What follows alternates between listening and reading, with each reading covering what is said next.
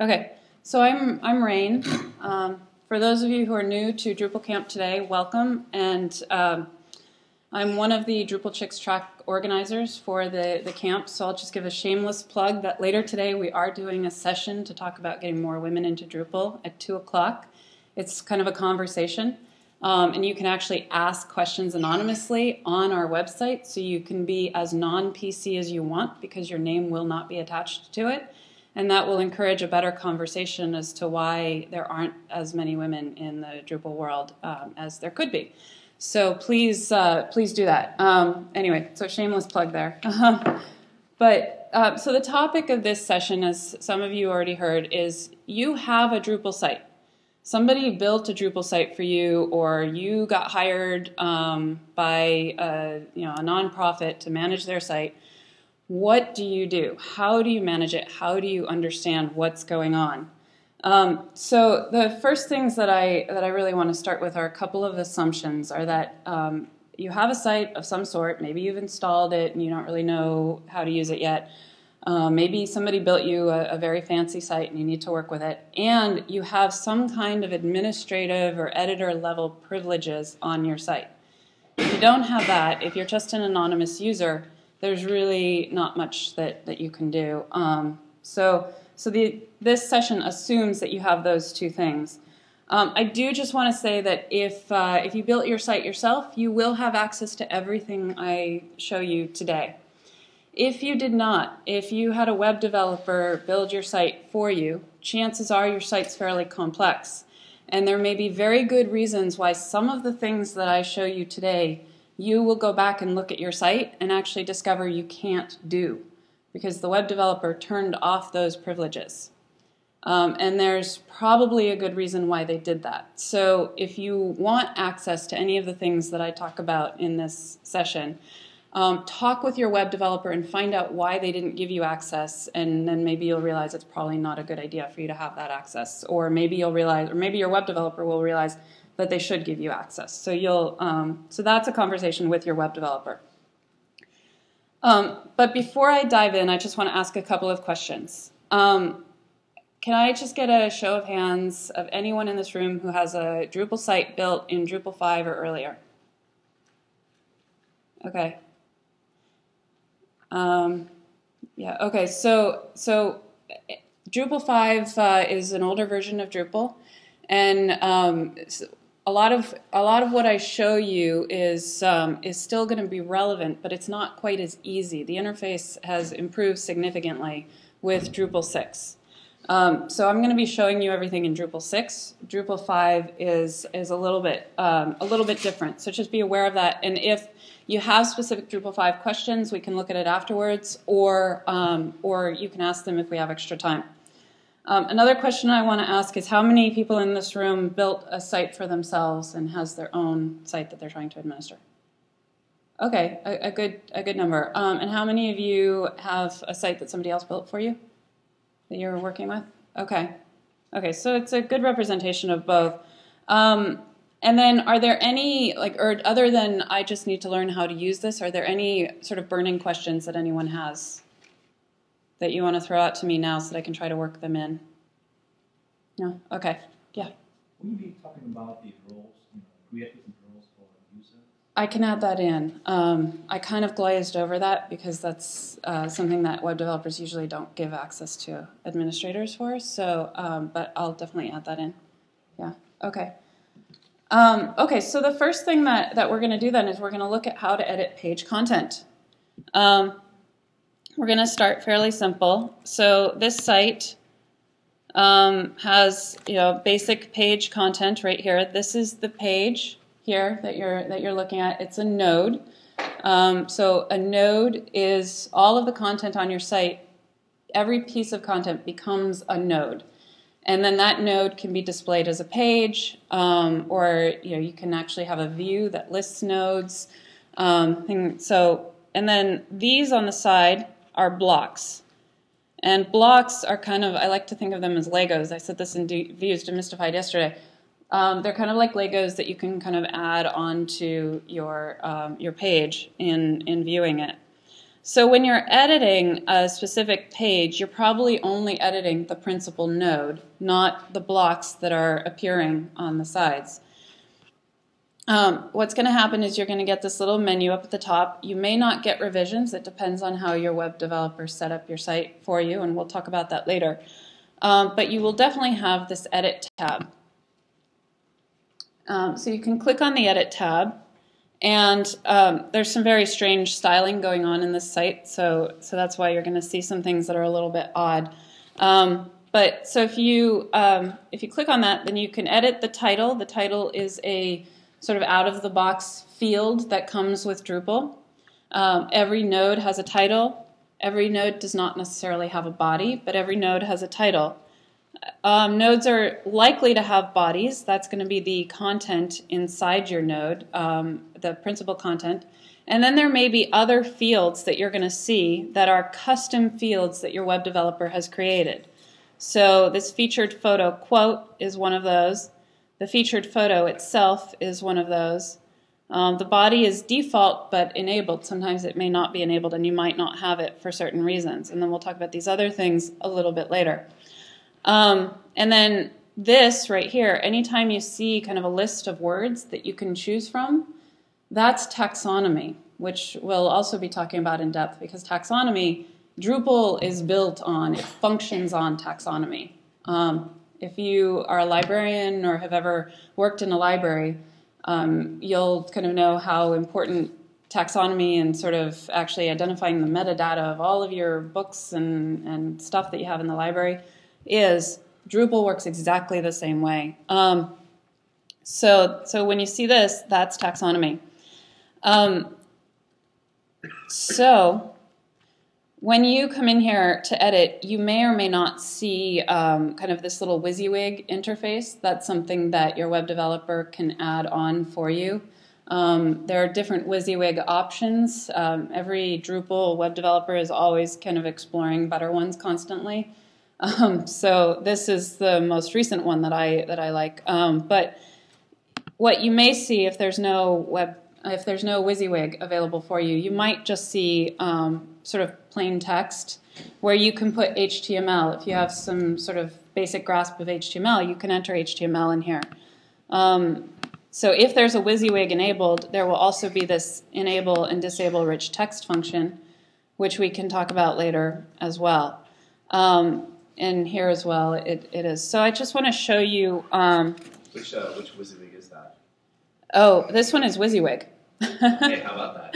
yeah, it's WYSIWYG with TinyMCE as the uh, kind of thing that's running behind it. Um, so I'm just going to go to that very page. Um, oh, you know, I don't remember the URL off the top of my head right now. I'm a little sleepy, I guess.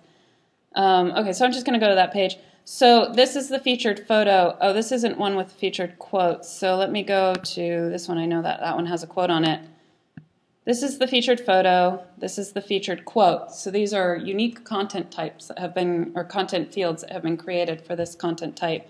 And then this is the title, and this is the body here. So just that you're actually seeing what what is what is what. Um, okay. I also want to point out that in these areas where you can actually enter content, so I'll enter a, a quote.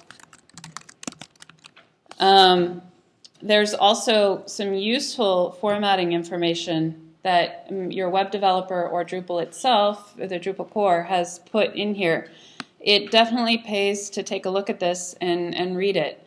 And I'm actually going to give you a link to a basic HTML guide as well at the end of this session uh, that you can use. But, um, but this tells you for absolutely certain which HTML tags your web developer has said are safe for you to use. Um, when you're actually developing a Drupal site, you can say, you know what, I really don't want my um, site, I don't want my client using tables on the site because it's going to mess this up. Or I don't want my client to be able to use um, header level 6 because I've used header level 6 as something very special.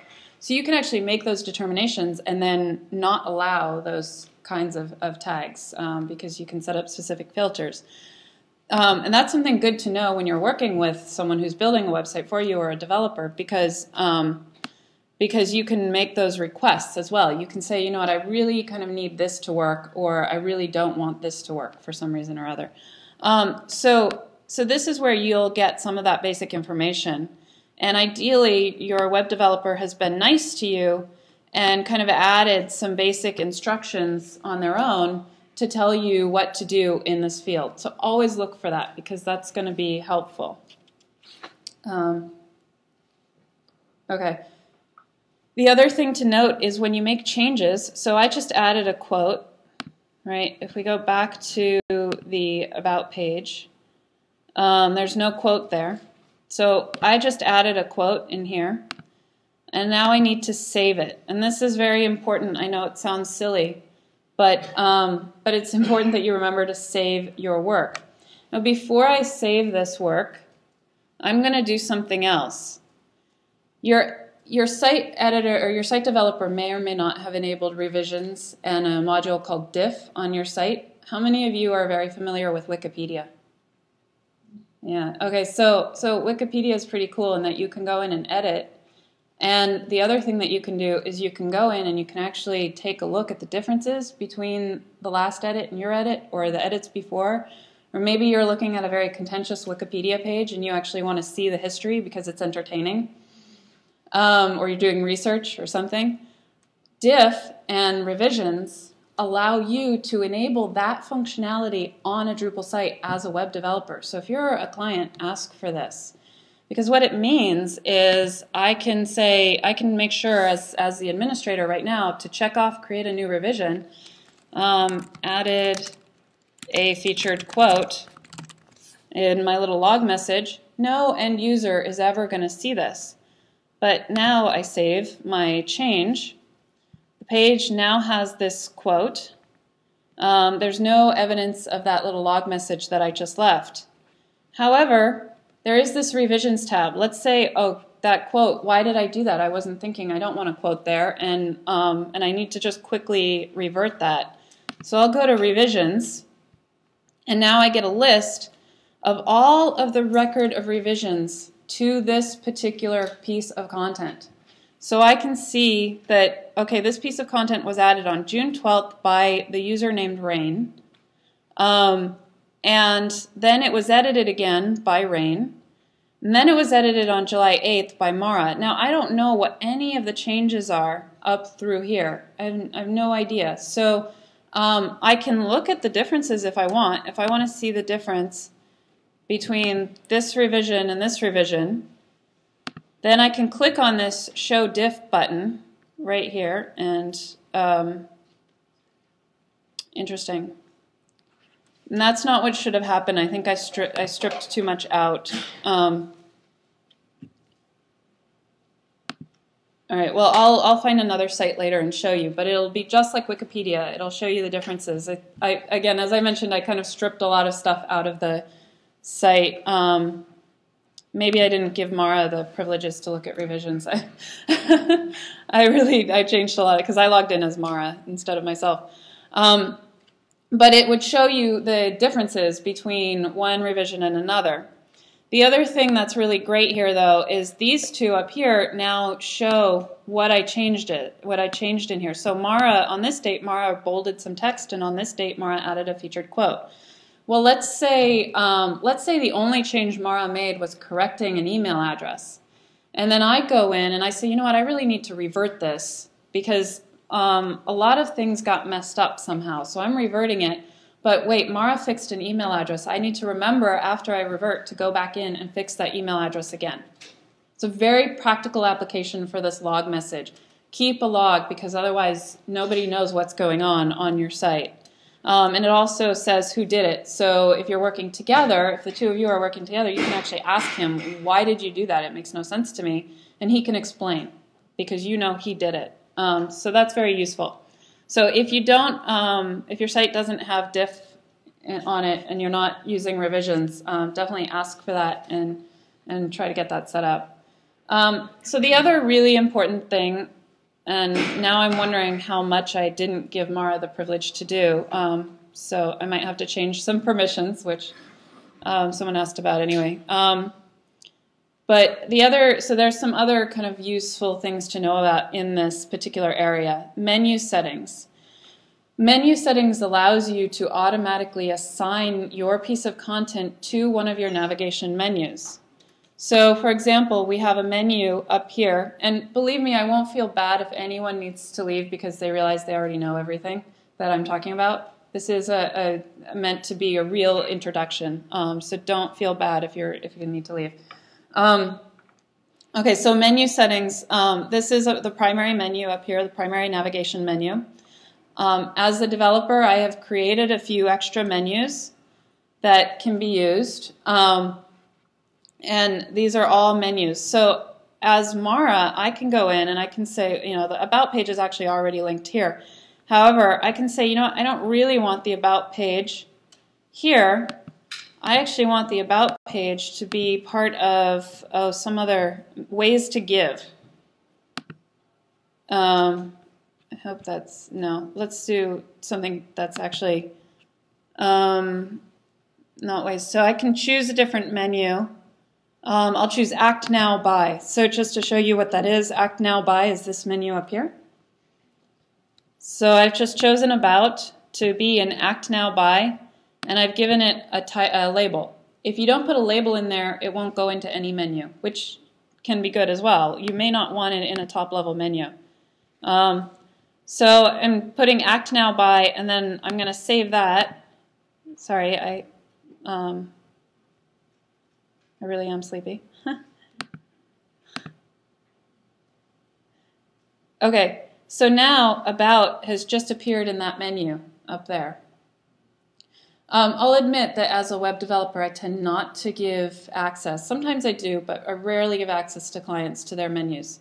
Um, and there's a good reason for that. Now this looks weird, right? We had a very specific design um, or if they wanted to, you know, about's been lost here, which is fine on that display because that display is all messed up. But this display, now this is out of balance. It's supposed to line up perfectly with the picture, so now it's out of balance. Um, most most clients, and um, if you're here, it's probably because some of you are clients, um, and some of you want to work with clients. Most clients really want a design that is very specific. And it's much better. Lance gave a great talk yesterday from this by them about designing for Drupal. And it's much better. He said, um, is it yoga or is it a living statue? Uh, which I thought was great. Living statue means, you know, it's not going to change. It's lined up perfectly with the picture, right? Yoga means client wants to add a menu item. Okay, it has to change. It has to morph. And that's really the way to, to try to think. However, both uh, both from a design perspective and also from a client perspective, sometimes that is a little more difficult in terms of adjusting because that's kind of a new way of looking at this at this media. So that's just something to think about. Um, but so this is this this site is a living statue, and adding the about at the on the menu is, is does um, a little bit of damage to it. Um, but that's fine. So.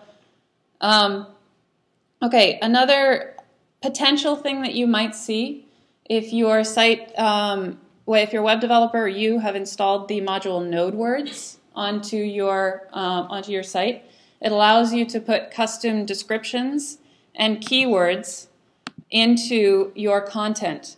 Now, they may have installed NodeWords and enabled it for some content and disabled it for some. So you might see this on some of your content types and you might not see it on others. Um, when you see it, it means that the web developer really thinks that there should be custom keywords and description on that page for search engine purposes. So I strongly recommend that you actually make use of it.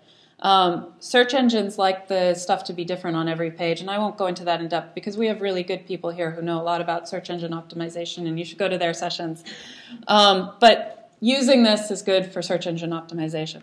Um, so and then there's this other one, URL path settings. Again, I usually don't give clients the ability to change this, and most web developers probably won't. However, there might be a reason why you want it or, or need the ability to do it. Um, I'm using, and most people use this fantastic must-have module called Pathauto um, that allows you to set up automated alias um, sort of rules. So you, as the web developer, can say, "This is a page, um, but for every uh, case study profile, I want it. I want the URL to be um, domain name slash case study slash whatever the title of your case study is. So you can set up an automated um, URL sort of rule, alias rule for that, so that when a client creates a page, or when you create a page, when you're you know entering all the content, um, the aliases are automatic. They're search engine friendly. They're user friendly. Um, but you might want to go in here. Let's say, for example, um, okay, I had a, a, a, client who recently wanted a special page that people would land on after they registered for the site. And it occurred, uh, you know, I was thinking, well, what would the proper URL for that be? Well, maybe welcome. So domain name happens to be what's your dream slash welcome. That's a much nicer URL than um, domain name slash thank dash you dash for dash registering, right? So, and that would have been the automatic um, alias had I just left it alone. So you can uncheck automatic alias and then change the alias in here. So if we look at this up here, the URL is about our mission.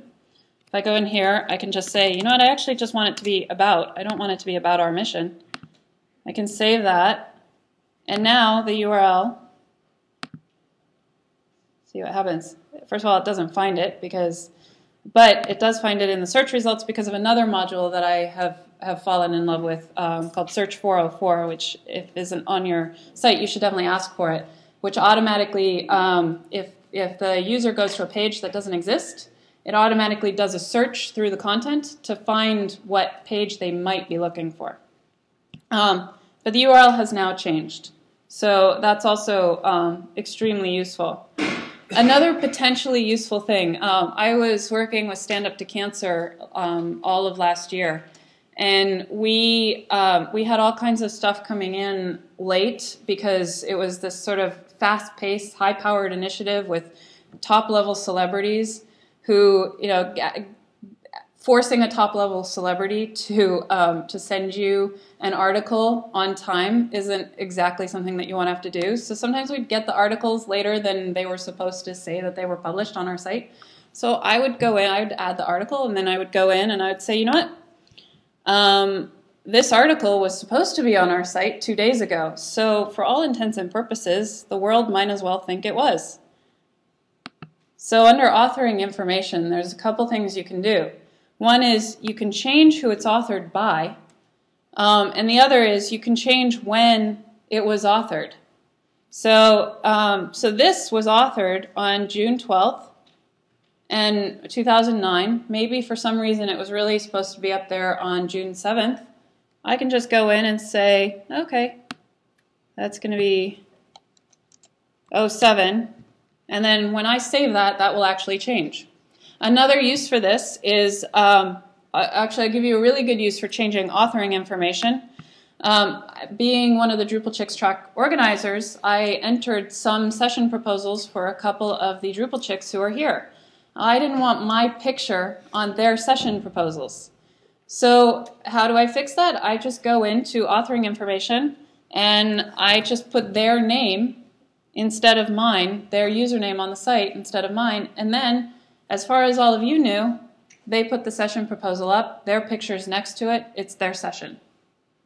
Um, so that's a very good use for, for something like this. Um, before I keep going, because I, cause I could just keep going, are there any questions at this point? I just want to make sure I'm not losing anyone. Okay, great. Okay. Um, another really useful tool is publishing options. And this one's a very important one to know about. Um, publishing options, there's three default out-of-the-box options. There's published, promoted to the front page, and sticky at the top of lists. Um, sticky at the top of lists will tell your content to always stay at the top of any listing that it's on. The default Drupal front page has kind of this story list that sort of river of news style story list that just kind of feeds onto it. Um, well, you can tell a particular piece of content. You know what? I always want you to stay at the top of the list, no matter what, no matter what sorting um, etc. This site actually has that functioning on it, even though it doesn't have the default homepage. Um, down here, this latest news and press is designed to always show the two most recent items, with the most recent one being at top. But as you can see, the July 16th entry is coming before the July 22nd entry. And that's because they felt that since this is a brand new site and a brand new concept, that July that what was entered on July 16th, this letter from the president, needed to stay there, and it needs to stay there for a while. So they just made it sticky, and it stayed at the top of the list. Um, if you're not using the default Drupal views, if you um, if your web developer set up custom views for this, as I did with these, that won't be default. You'll need to make sure that your web developer actually set that up, other that set up sorting to actually recognize sticky. So you may need to, you may find the first time that you use this that it doesn't work, and you may need to actually ask for it to, to work. Um, it to front page. This is also one of those things that may and may not work. If you're using the default Drupal front page, which is that kind of river of news, then this will definitely work. Your content will be promoted to the front page.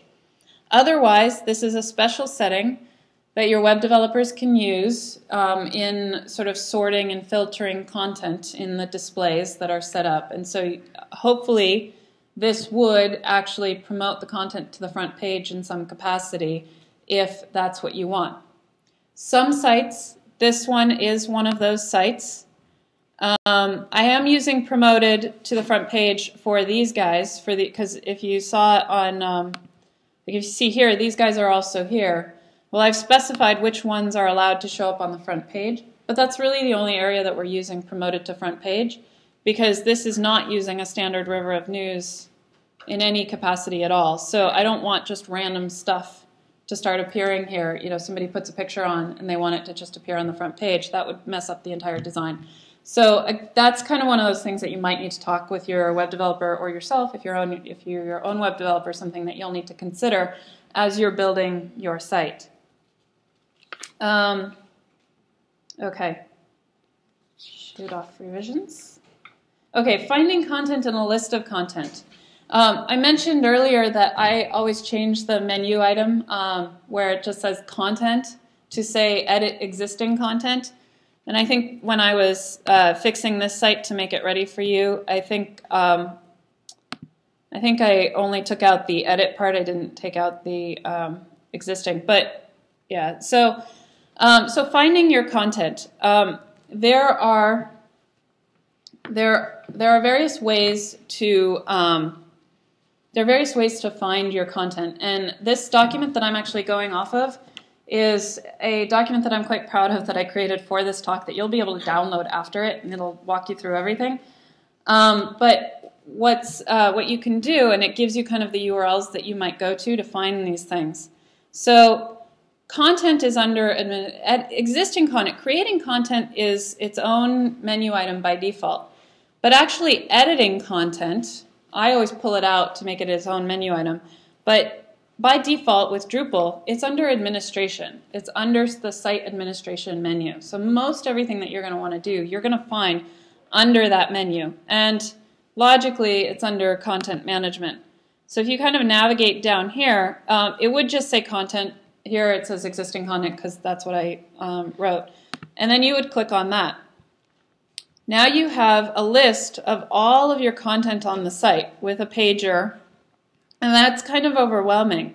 If you're looking for something very specific, um, you may not actually find it here um, because it's such a you know on, in this case it's only two pages but in the case of stand up to cancer where we had um, thousands of teams on the site teams are each content. So, uh, you know, I would have to scroll through thousands and thousands of bits of content. That just won't work. So you can actually sort your content. Um, these are very useful. You can sort to say, you know what, I only want to see published things um, versus not published things. You can actually set your content to not publish so that um, if you uncheck that published option where I showed you under publishing options where sticky and front page are, if you uncheck that, it won't be displayed for your end user, so you can keep editing it um, and leave it unpublished for a while and then publish it when you're ready. Um, so maybe you only want to see that content that's not published. uh, because you actually want to take a look at it and try to kind of edit it and work with it. Um, or maybe you want to see all of your content that is content type um, featured item because you want to specifically try to edit a featured item. Um, or you want to see all of your content that, and this is calling from taxonomy, which I promise we'll talk about a little bit later, all of your content that fits under the taxonomy term community. So anything that I've tagged as a community item. Um, and then you can filter that, and it'll only show you those items that are specifically related to community. Um, and then you can kind of keep filtering down further if you want to. You can add um, additional arguments. When you want to go back, just click reset and it'll undo all of the arguments that you've placed in there to actually sort through your content. Um, this is also really nice, update options. This could save you a lot of time. I know that there's at least one person in this room who has a site who could have uh, who where users comment and they could be putting a lot of uh, maybe defamatory comments, something that, that is really bad. Um, so you can actually just go in and check these little check boxes and then unpublish or delete and then update. For those of you who are seriously thinking about site administration or working with big sites, I strongly recommend that you use the unpublish option, not the delete option, even though delete is nice because it clears out your list. Um, but just think about if somebody has put a, some, you know, maybe there's a really inflammatory comment that was put on there that could get uh, that could generate a lawsuit. Keep the comment on your site. Don't show it to anyone, but keep it there so that you can prove that it was there and that you unpublished it. Um, so use unpublish by default instead of delete. Or maybe you put up a page and then you decide, you know, I really don't want that page. Um, and then three weeks later, you realize, you know what, I really do want that page. Hopefully, you didn't delete it. Hopefully, you just unpublished it. Um, so try to use that for the most part, unless you know you really don't need it. But yeah. The um, revision, the date and stuff too. If you do that. Yeah. It, it everything is in the database. Everything is yeah. So you can actually find out what happened with your site. Mm-hmm. Um, so just keep it. um, the other thing is, hopefully, your web developer has put, or you as your own web developer has put some kind of a CAPTCHA on your site um, so that you're not getting kind of spam bots just randomly throwing billions of comments or something like that on your site. Um, you're forcing it to recognize that it's a human. I prefer Mollom. I think that's a really good one. Um, and Mollom has very specific settings that allows me to say, you know what, for this content type, I know that only approved users can enter into this content type, so Mollom doesn't need to check it. But the other thing that you can do with Mollom is you can actually tag someone. Um, so you can tag an IP address. When you unpublish a piece of content or delete a piece of content, you can say, you know what, this piece of content came from an IP address that I really want to flag as being bad. And so you can do that not only with spam bots, but also with users who give a lot of bad stuff to your site. Um, okay, so so there's a lot of options here, and um, and you'll want to explore them in your own kind of dev environment. Uh, but it's an easy way to kind of quickly affect a lot of content. Um, I'm going to try to speed up here. Um, okay, taxonomy. So taxonomy, again, as I mentioned, kind of the core of, of Drupal. Um, taxonomy is vocabulary, it's metadata, it's kind of um, the information running behind your, your site. Um, so to edit taxonomy, it's also under content management and taxonomy. Um, your web developer has probably created sort of a, a list of vocabularies relevant to your site that are going to be on various content types. Um, so in this case, Remedy Center has different service categories. So I'm going to click on List Terms, and these are the types of service categories that they have. This having this taxonomy allows me as the web developer to create different um, ways of viewing events by category. So if I'm looking for employment um, and and I come to this site, I can actually filter the content that I receive as an end user by employment because that's a taxonomy that has been set up. That's a vocabulary that has been set up, or a term that has been set up in a vocabulary in the taxonomy on the site. Um, it's easy to add terms. Um, so, you know, there's also, a, I had um, one particular person in this room ask me how if he could add um, the word science to a list of um, vocab to a vocabulary list. So, what he would do is he would find that taxonomy vocabulary in his taxonomy and then he would just go to it and go to, you know, he could just add it, but he might as well list terms first to see what is there and remind himself. And then click on add term. And then um, maybe, um, I think daycare is already on there, but, you know, I'm just going to add it again. Just enter it, and then, um, well, I clicked, I pressed return, but I should have pressed save to show you. And then press save. And now if we go back to list, Okay, daycare wasn't on there. So daycare is now on there um, as a, a, service category. So um, it's, it's really that easy. Now, if I'm going to create content and I'm creating a page, which the page content type um, oh, has a different set. So I'm actually going to create a service. Makes sense. Um, daycare is now one of the categories that I can choose from. So it's, it's really that, that simple. Um, the document that I'm going to give you a link to be able to download actually gives you also a, a really nice link to that to a page that really describes taxonomy in great depth. So definitely take a look at that. Um, I'm actually going to show you very quickly. Those of you who are in views, you you saw this yesterday, but I'm going to show you what I think is, is a really good example of how cool taxonomy can be for the end user. Um, oops, sorry about that. Okay, so here, this is a site called What's Your Dream, and it uh, encourages people to put their dreams online. Um, so here are a bunch of dreams that have been recently added. Well, now as the end user, I can search dreams by basically by different taxonomy. I also have uh, this fun little um, thing called Tagadelic. This is also a um, it's also a Drupal module that's pretty nice and, and simple to work with. So you can look for that. Um, and Tagadelic also sorts by taxonomy. But you know, let's say I want to go in and I want to say, you know what, um, I want to see all dreams that have to do with the environment.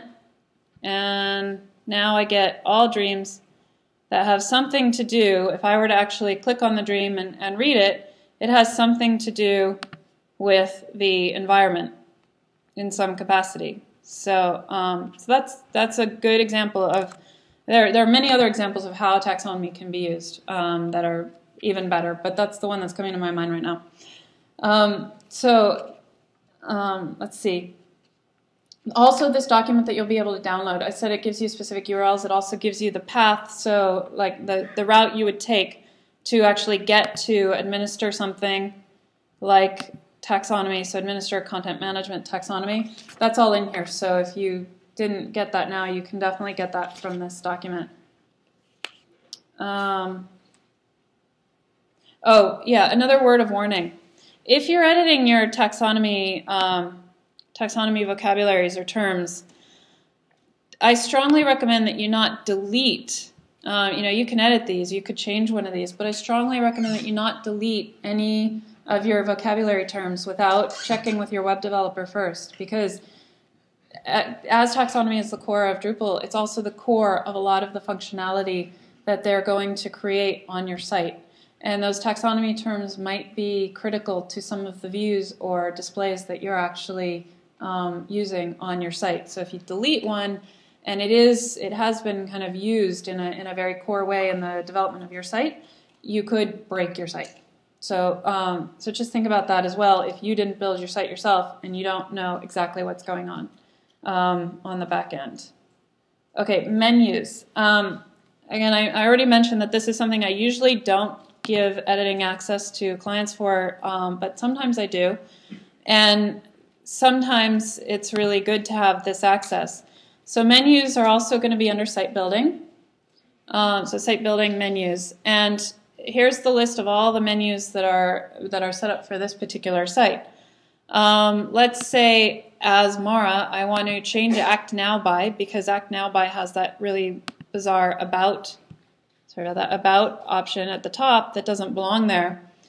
Um, there are a couple ways I can deal with this. One is I can go in and I can disable it and then save the configuration and it will go away.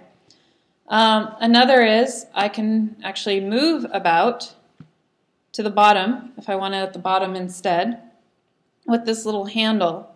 Um, I can also delete it here or I can edit it to change the way the wording of it.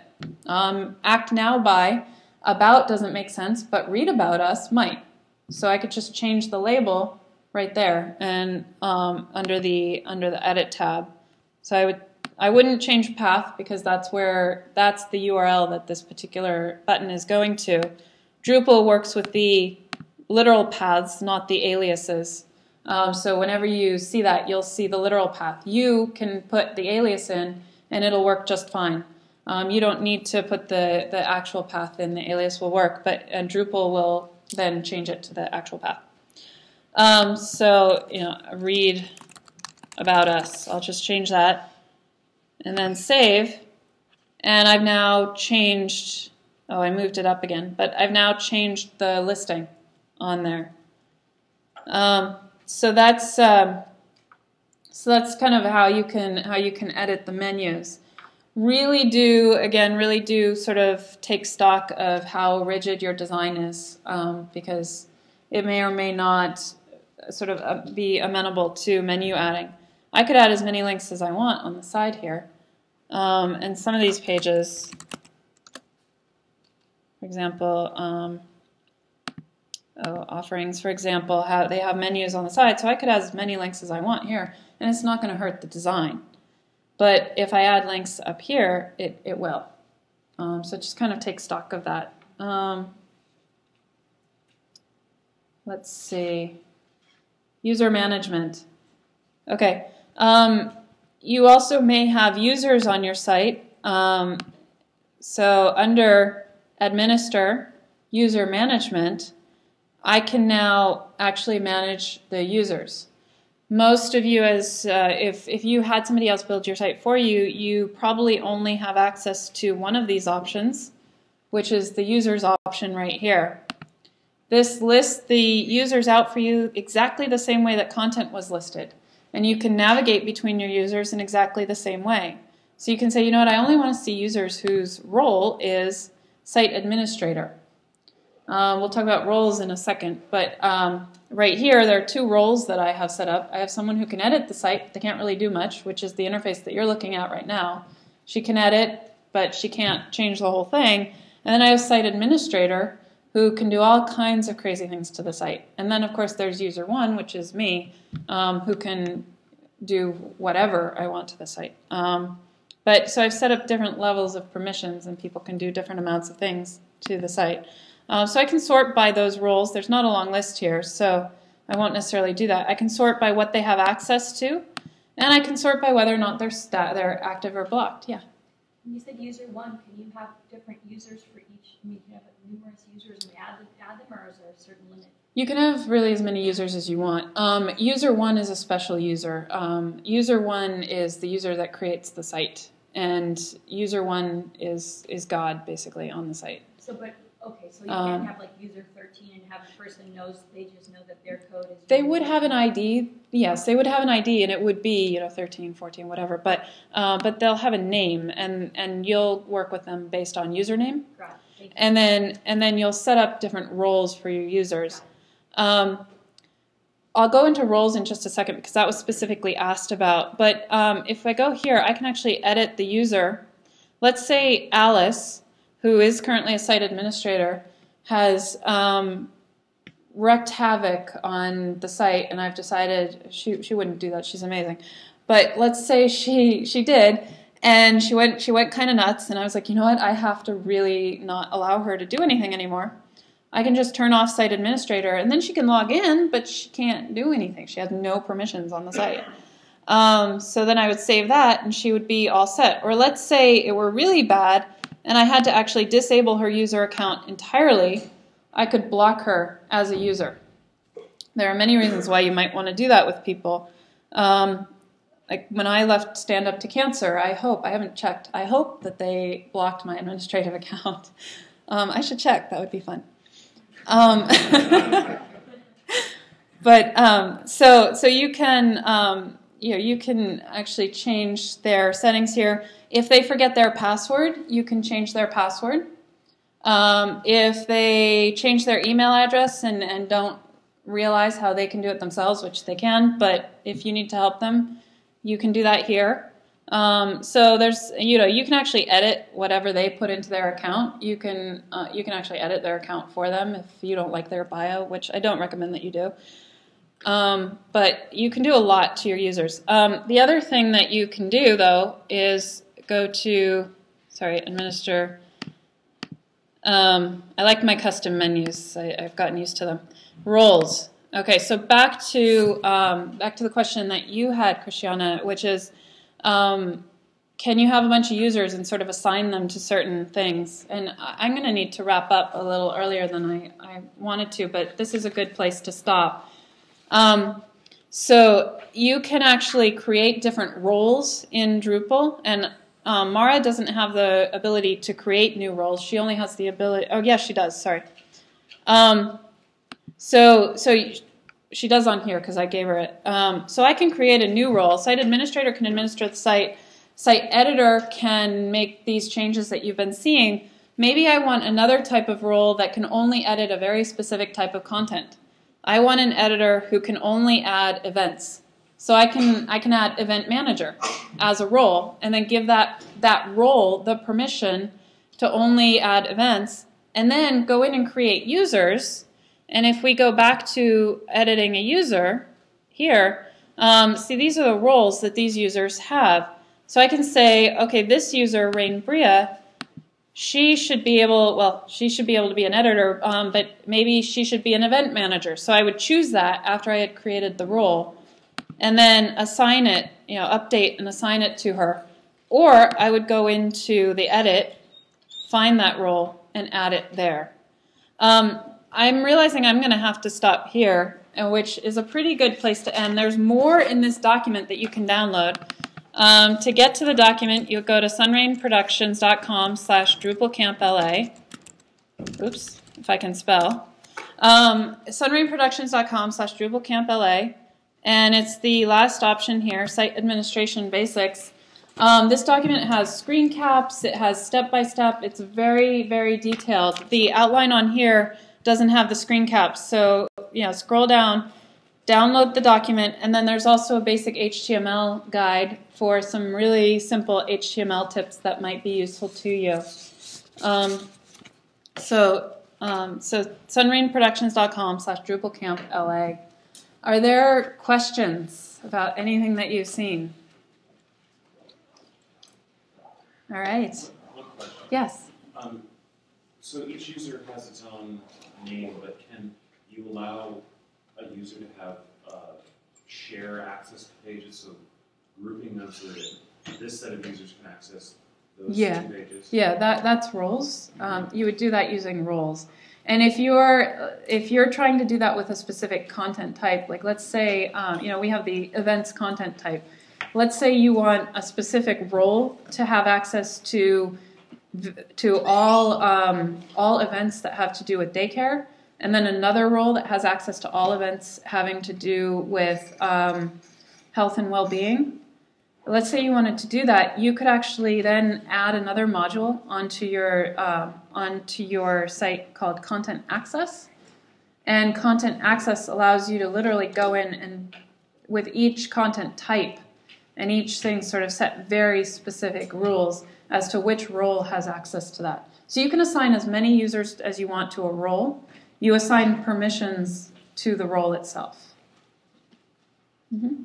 Any other questions?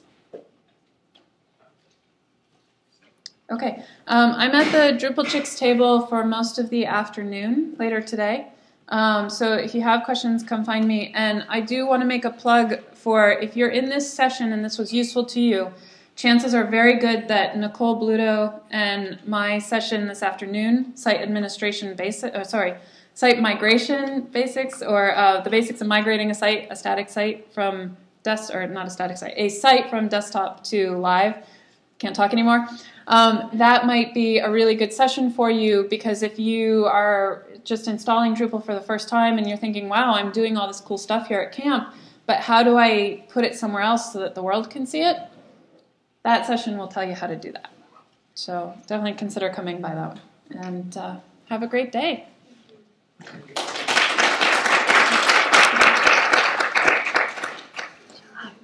Yeah.